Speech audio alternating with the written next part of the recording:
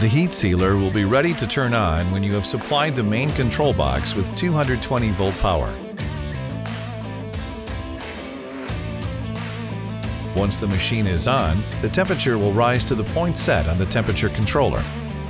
To change the set temperature of the machine, either press the down arrow to decrease the temperature or press the up arrow to increase it.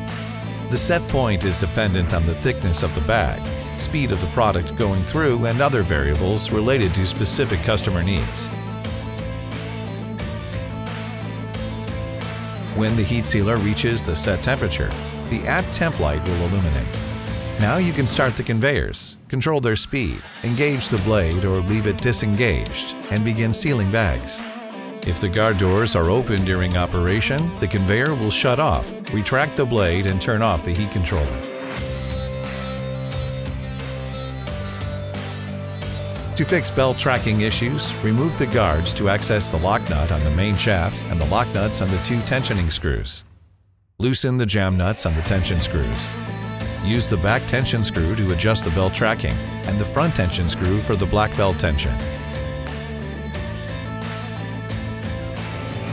To adjust the product sealer height, use the handle located on the side of the product sealer.